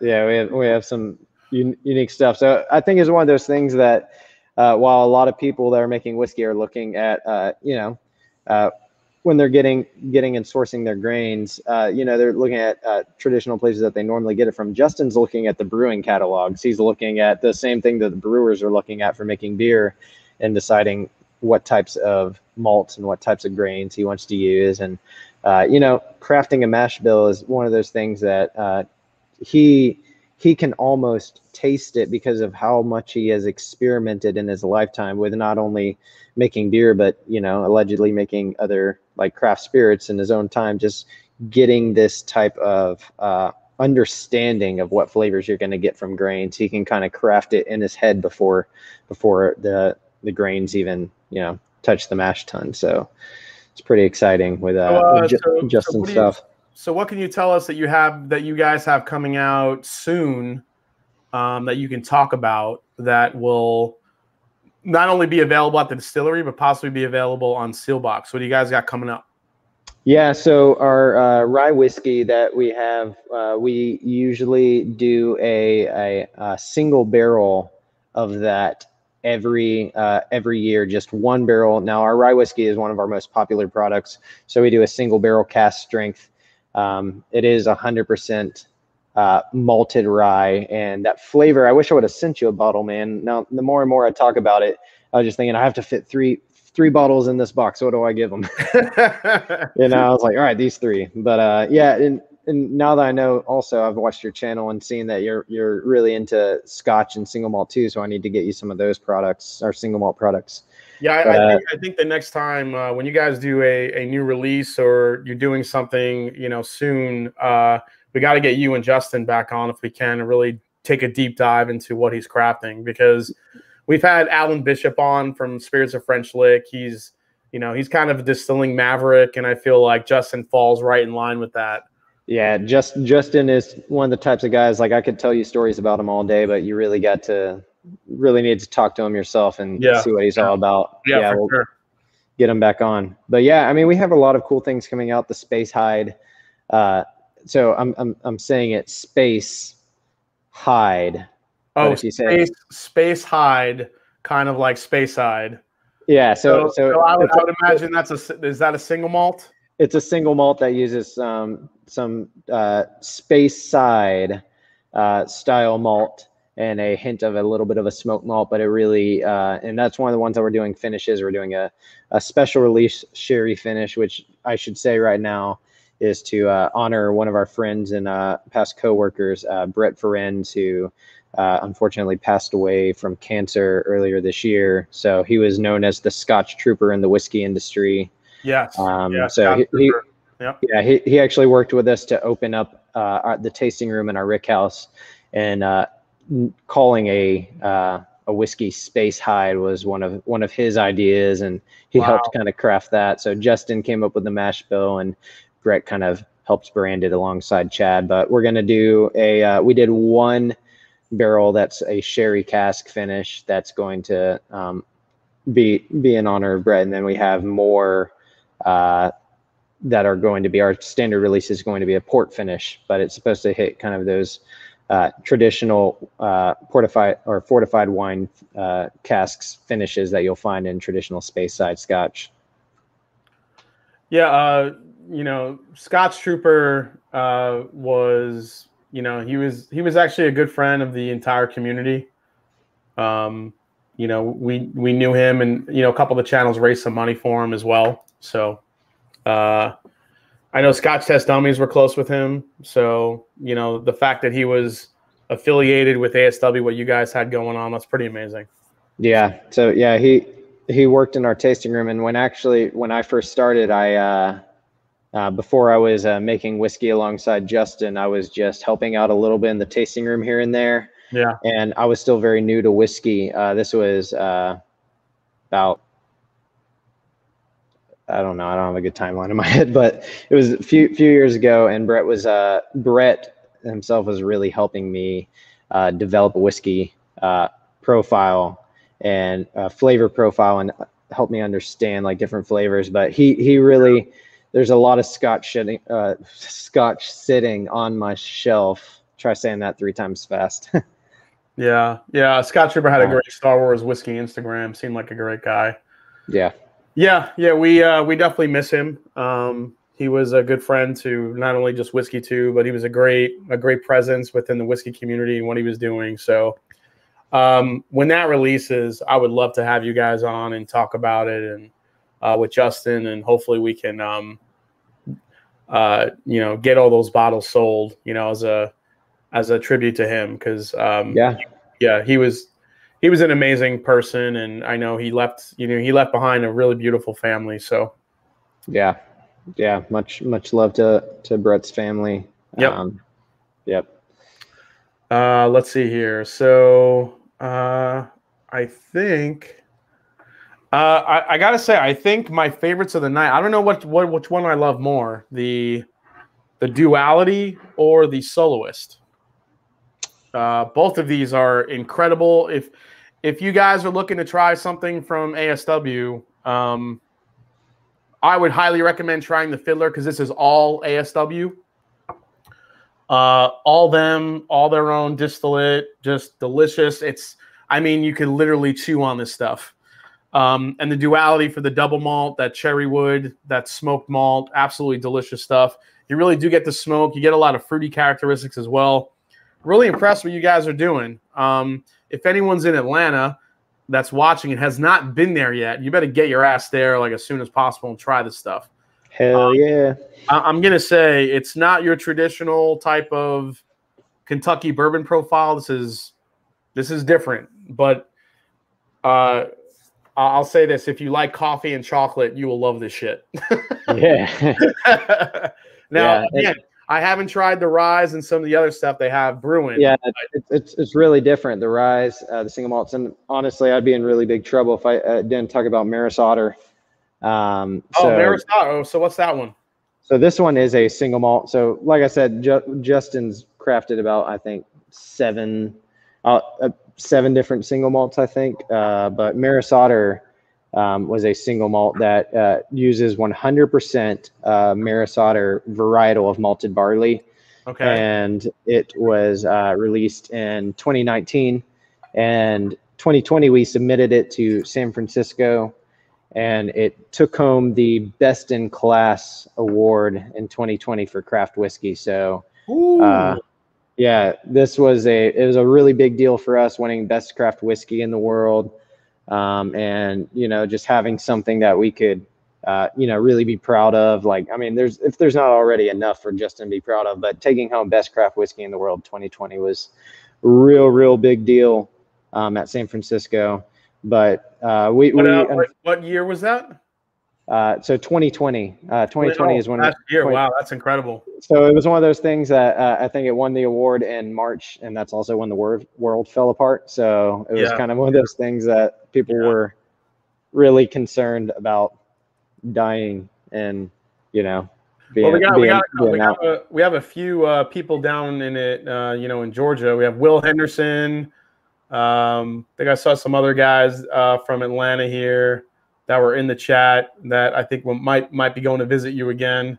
Yeah. Um, I know uh, Slade Slade Gullidge. He's a great viewer. He's down in Atlanta as well, and of course, uh, IC what is it? IC 86. I always forget. Oh yeah, IC 86. Uh, do you guys? He actually had a good question. You guys do? Uh, you guys doing tours over there? We are, yeah. We just started. So at first, uh, during COVID, we were not doing uh, tours uh, this the normal way. We were doing more of like a hallway tour. We have just opened up tours. We actually have a new tour guide uh, na- named David. Uh, he actually came from Angels Envy and he does tours here now. He is a fantastic tour guide. Um, so yeah, we are doing tours and tastings on uh, Fridays and Saturdays currently. Um, okay. Those are the only days at the main distillery. Uh, you can go to the Battery, which is our second distillery that we just opened up that has a column still that is uh, ran by Jerry McCall. He makes vodka and gin. So we kind of did things backwards. We started with whiskey and now we're making vodka and gin. Uh, that, that is a little backwards for a craft. Yeah. yeah. but, but Bustletown vodka. This is our, our vodka that Jerry makes. He does a fantastic job of that. And then Winterville Gin will be released, uh, I believe, next month. Uh, and that is a fantastic gin that uh, uses marigold um, influence or marigold in the actual botanicals. So it's super delicious. Uh, I want to say good night to uh, Julie. Like, uh, you know, try not be easy on Dan. Don't wake him up. You know, try to if you can, you know, carry him to bed. Be gentle with Dan. uh, I also want to say, let's see here. Uh, Pop Note Watch him has a he's down in New Orleans. Uh, do you guys do on-site barrel picks? This is what I'm interested in because I really do want to. I think we have an opportunity to do a really cool. If you guys have barrels available, we uh, do. Yeah, yeah, So we, we are doing on-site barrel picks with uh, with mostly it's stores in Georgia right now. We need to figure a way of getting out. Our marketing guy Chad's actually working on doing uh, picks outside of our uh, main sales reps territory, which is uh, in the southeast. So if you need sales in the southeast, you need to talk to Josh, Nick, and Luke. They are our sales. Well, could you guys. do? Uh, do you guys do picks through Seelbach's? We do. Well, that's the other thing. So yeah, uh, Chad has been doing some picks with uh, some people over in Texas, um, okay. some yeah. Hartwood picks and stuff like that. So yeah, we we absolutely are doing barrel picks. Uh, Duality is our main product for barrel picks currently, but we're oh, also doing, yes, I'm in. yeah, yeah. The Georgia Hartwood's another one that we do barrel picks for. So okay. uh, right right now we are uh, still. So our last year's release of uh, Georgia Hartwood uh, was fantastic. Um, and we are waiting for our next batch to really get that uh, that big oaky flavor profile that we wanted to. So it might be a minute on on the Georgia Hartwood. Okay. Um, maybe another six months or so, but the uh, the duality is is ripe for the picking, so it's ready. Old man Joe just bought the Seelbach's pick, so there you go. Nice. Woo! Nice work, Joe. Yeah, Joe, you'll you'll you'll love it, man. It's really. Oh, Brett Marquette says so did I. what a guy. Yeah, I mean, there's there's a very distinct. Uh, what's what's the pick on Seelbach's that you have right now? Is it a Georgia Hartwood or is it a duality?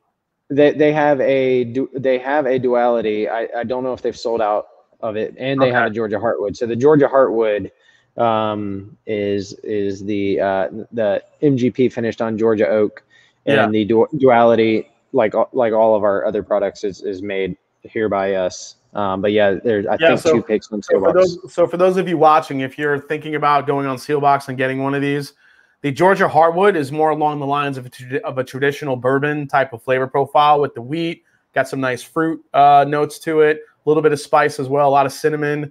The duality is, you know, that's smoke, a little bit of chocolate. So you have those two types of flavor profiles. So whatever you want to try, those are kind of the distinctive flavor profiles. If you guys are, I would say, you know, if it was me, the Georgia Hartwood is really good. Uh, but I feel like if you want to try really what ASW is capable of, then try the duality. So, yeah.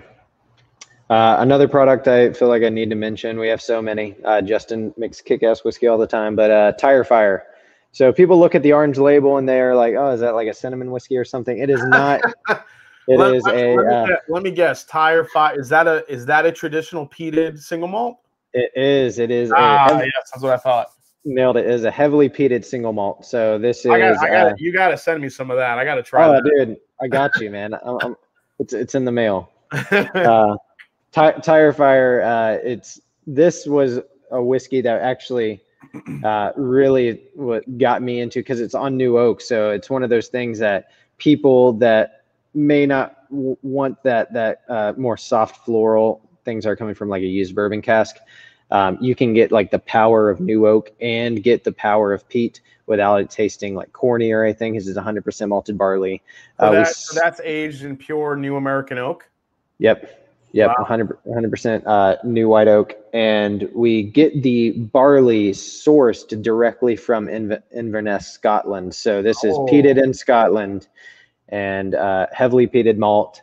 It's fantastic. Uh, it's actually probably my favorite product we, we have here. I'm actually I was drinking Optic Promise in my uh, glass, but I think I'm gonna move to some So, so, so, so real quick, just for or so, I mean, I'm kind of geeking out here. I know everybody that's watching. So, when you source, you, you're saying you're sourcing barley, peated barley from Inverness, Scotland. So that comes to you. Now, are you guys milling and just like how does it come to you? Yeah, so so we get it we get it um, milled there, and uh, or either either some of our uh, so we actually source some some barley from Ireland as well Okay. that we get we get shipped uh, here, and then someone will mill it for us, and then we'll do it so we get it nice and fresh and milled. okay. Uh, the tire fire actually need to. I'm not positive if it's milled in Scotland or milled in the United States. I would assume here in the United States, just for wanting to have that freshness. But I, I need to check. But it is peated in Scotland. So uh, it's which- peated in Scotland, some pro and uh, essentially milled, so either in Scotland or the United States before you guys get your hands on it to uh, to ferment it and then make your make your uh, to make your single malt. Correct. Correct. Yeah, correct. So yeah, we, we brew it. So we create the mash, we we ferment it, we distill it. So it is hundred percent, uh, you know, made. Is there is there a uh. So how peated are we talking with Tire Fire? Are we talking like this? So Eric just said Georgia Octomore. Is it is it, It- is it like that peated or is it a little bit softer? It's 45 ppm, so you'll, you'll put it right between Laphroaig and Ardbeg on the ppm scale. So Oh. Laphroaig being at the at the you know the mid 30s, and then Ardbeg being at the 55. So it's at 45 ppms. Um, but it, it it really hits that smoke too. So uh, it, it's uh, I think when we first released it is about uh, two years old, uh, and now it's about two and a half to three years old. But Yeah, you two and a really get All right, so two and a half, three years old, Matthew. Uh, sounds like a Oh. well, yeah. That's it's an American single malt, Stevie Ray. Yep, it's not it's not a bourbon. This is a peated American single malt. That is correct. Yep, and we have we have a we do have a cask strength version available that we are also are doing barrel picks for. So I, I forgot to mention we are doing tire fire barrel picks, which is actually something that uh, you know when you think a lot of people think like oh you know I'd love to have a a single barrel Scotch or something, but you're not seeing many Scotch barrel picks in the United States. This is kind of like our answer to it. Like hey, you can get this Scottish malt made in traditional pot stills and traditional uh, Scottish way, and we can do a single barrel picks of that. So uh, they've been doing pretty successful. Our single barrel actually won a gold medal um, this past year San Francisco, while the uh, standard, it's 91 proof, won a, a gold medal the previous year. So you're doing tire fire cask strength barrel picks too? Correct. Yeah, we're doing tire fire. oh tire my fire, god, dude, you're killing me. and then we have the uh, the tire fire finished in a rum cask, which is What the fuck, Jesus! this, this, this is probably one, my favorite whiskey we've ever made. oh Uh, my god, that's is- incredible. Yeah, it's uh super super uh like Is that? Do you, do you think? Do you think that's better than the Ardbeg drum? So it's it's funny. My my buddies and I we, we drink a lot of a lot of whiskey. Um, and I have grooves. I have black. Uh, he has scorch. I have. Um, we we pretty much have like every Ardbeg, but none of us have gone out and bought drum. So I've never never tried it. never tried drum, but I, I mean to. I, I do intend on going and picking up a bottle of drum soon. Well, dude, so- I mean, I have I, I have drums. So if you send me a couple of bottles of that, some of that stuff, I will send you all the drum you want. All right, gi- give me a little sample of that. Yeah, shout, shout out to my, my friends I drink uh, whiskey with. Uh, since I brought you up, Yeah, wait, the peated finish and rum cask. Yes. So how? Yeah. So how? Um, how distinct is the rum finish in that? How how long are you keeping that in the rum cask? Very. It's about a year finished in a rum cask, and I, A I should men- year? Holy Yeah. shit! I should mention that's a local rum distillery. So Richland Rum, uh, located in uh, South Georgia near Savannah. Okay. Uh, they uh, actually grow their own sugar cane and do a uh, traditional pot distillation and make badass uh, pot stilled rum. And So this, we were so like, this, this, yeah, this is like a Foursquare style rum, no sugar added, all sugar, all pure sugar cane. yes, Yeah, okay. yeah. Yeah, so that's that's, the type that's the way to that's do the type of rum cask that we were we were wanting to use, and uh, Eric was willing to partner with us on that. So I mean, Jesus, you guys are covering every single type of whiskey drinker in your lineup. You have you have traditional bourbon with the Georgia Hartwood. You have your something a little bit different with your fiddler, a little bit of a chocolate, a high malt. You have a rye. You have single malts. You have finished single malts, finished ryes. I mean, Jesus, I had Yeah. no, I had no idea of the expansive lineup that you guys have. This is insane. yeah, uh, so I, I have to mention this because this is Justin's favorite whiskey. So this is Justin's favorite whiskey that he makes. It's Druid Hill. It is a Irish style whiskey, so it's triple distilled uh, in traditional Irish way in pot stills, and we actually source. Uh, it's it's partially malted and partially unmalted barley, and we we source the malted barley directly from Ireland.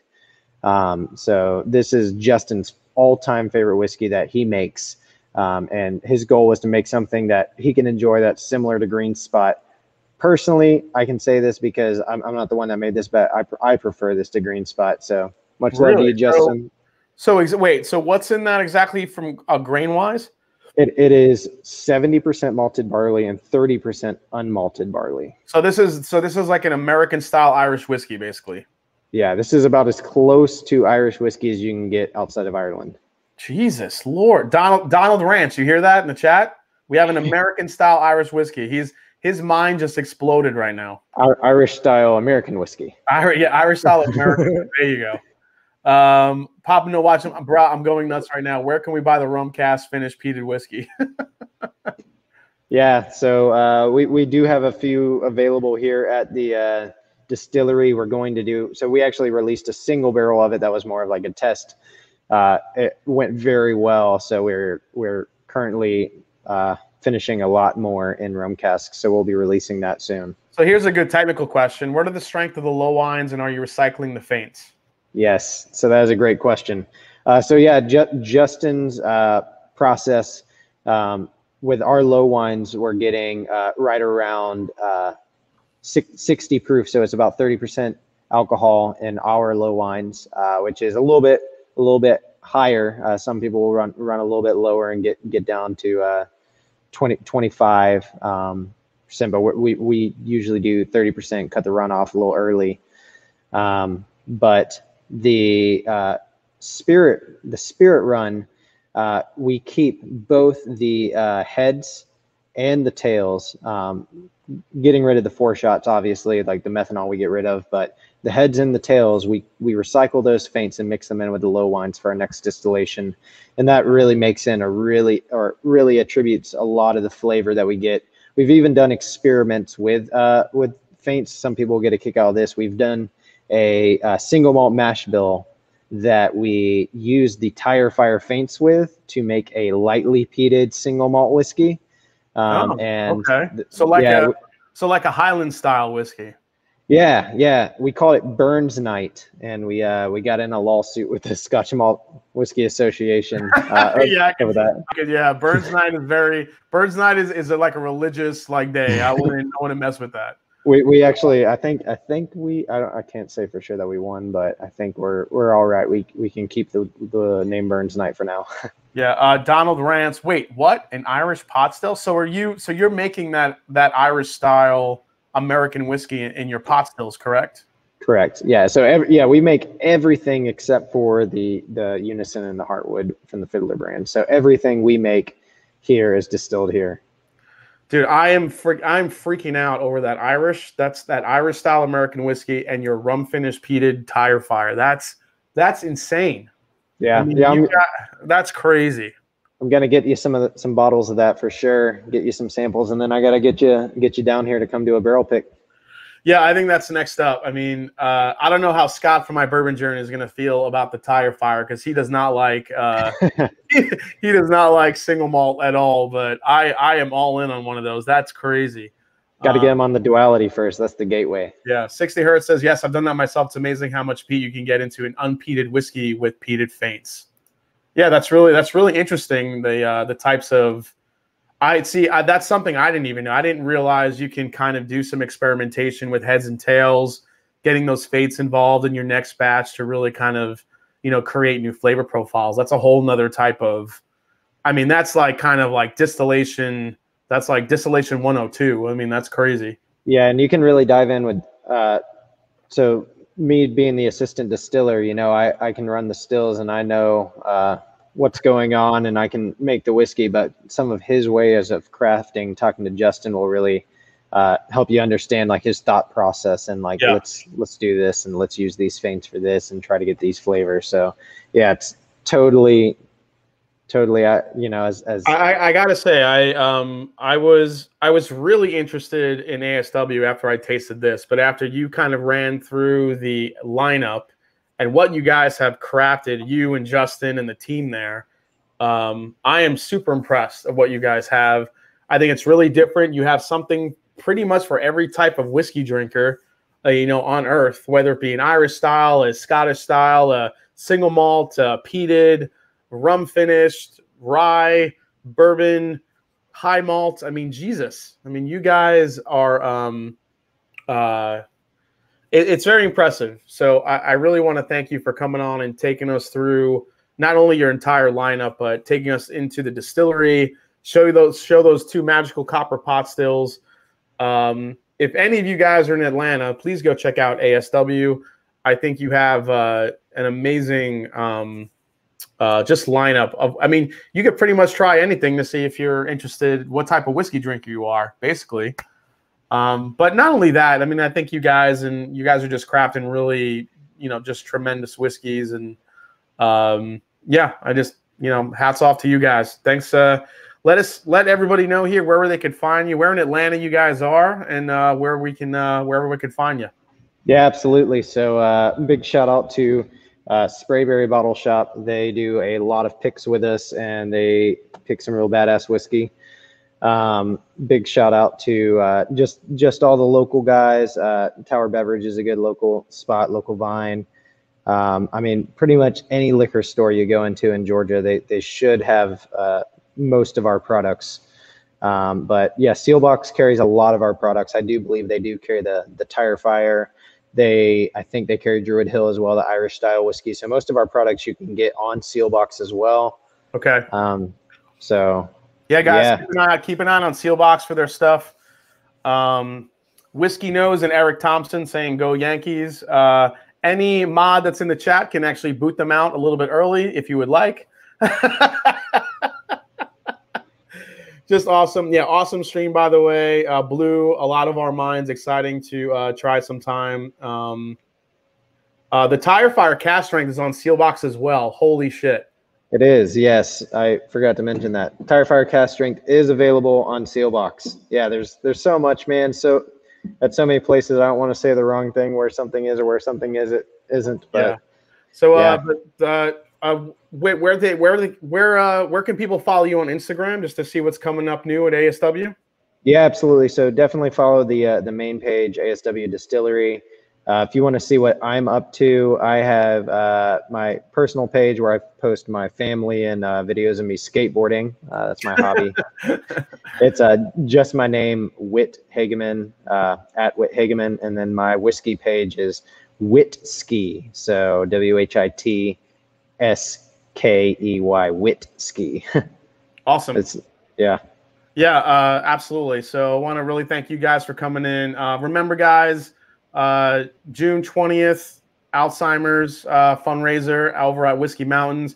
Next week, the director Greg Schwartz from The Water of Life. You guys get to watch the movie before anyone else does, right here on the Mash and Drum. You want really want to learn about uh, some of the great stuff that's going on in Islay. You got to check out that stream. It's going to be an amazing, amazing night next Wednesday night. Uh, I do want to uh, thank again for Whit. Thanks for everyone for hanging out tonight. And as I always say, it's not about the whiskey; it's the people you share with. So, uh, cheers, Whit. Hang out for a little bit. Don't sign off just yet.